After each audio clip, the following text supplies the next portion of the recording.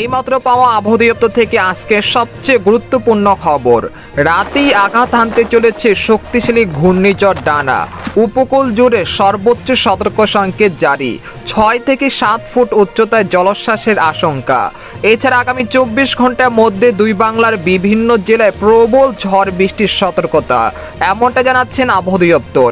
আজ ও আগামীকাল কোন কোন জেলায় ঝড় বৃষ্টি হতে পারে এই বিষয়ে কি বলছে আজকের আবহাওয়া রিপোর্টে, জানিয়ে দেব সম্পূর্ণ বিস্তারিত ভিডিওদের সঙ্গে রাখুন আর আপনি কোন জেলা থেকে আমাদের আবহাওয়ার খবরটি দেখছেন অবশ্যই কমেন্ট করে জানিয়ে দিবেন।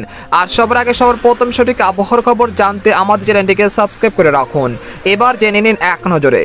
গত কয়েকদিন ধরে পরিষ্কার আকাশ থাকলেও এবার প্রকৃতির মাঝে ধেয়ে আসছে ঘূর্ণিঝড়ের ঝড় বৃষ্টি। এরই ধারায় আজ থেকে দেশের বিভিন্ন অঞ্চলে দেখা মিলবে মেঘ বৃষ্টির আনাঘোনা আবহাওয়া দপ্তরের পূর্বাভাস, আজ রাতের মধ্যে দেশের উপকূলীয় অঞ্চলগুলোর উপর দিয়ে ঘন্টায় চল্লিশ থেকে পঞ্চাশ কিলোমিটার বেগে দমকা ও ঝড় হওয়া বয়ে যেতে পারে। একই সঙ্গে দেশের সকল সমুদ্র বন্দরগুলোকে সাত নম্বর মহাবিপদ সংকেত আসতে পারে বলে জানিয়েছেন আবহাওয়া দপ্তর। এদিকে আবহাওয়ার আরেকটি সতর্কবার্তায় বলা হয়েছে, আজ থেকে ঘূর্ণিঝড় ডানার প্রভাবে দেশের বিভিন্ন অঞ্চলে বিক্ষিপ্ত আকারে বৃষ্টি বা ঝড় বৃষ্টি হতে পারে। একই সঙ্গে বুধবার রাত থেকে শুক্রবার সকালের মধ্যে খুলনা, বরিশাল, ময়মনসিংহ, সিলেট, চট্টগ্রাম, ঢাকা ও রাজশাহী বিভাগের একাধিক জেলায় ভারী থেকে অতি ভারী বৃষ্টিপাতের পূর্বাভাস রয়েছে।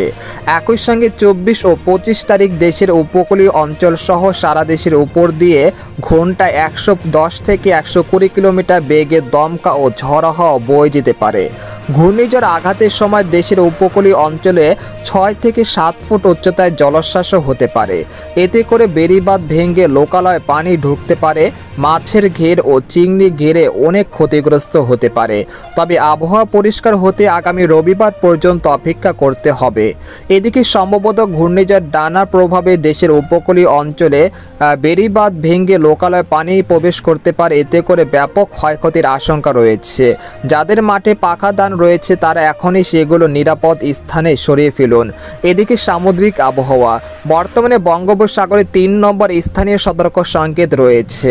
পরবর্তীতে পাঁচ থেকে সাত নম্বর বিপদ সংকেত আসতে পারে। মধ্য, পূর্ব বঙ্গোপসাগরে অবস্থানগত গভীর নিম্নচাপটি আরও শক্তি অর্জন করে আজ সকালে ঘূর্ণিঝড় ডানাতে পরিণত হয়েছে।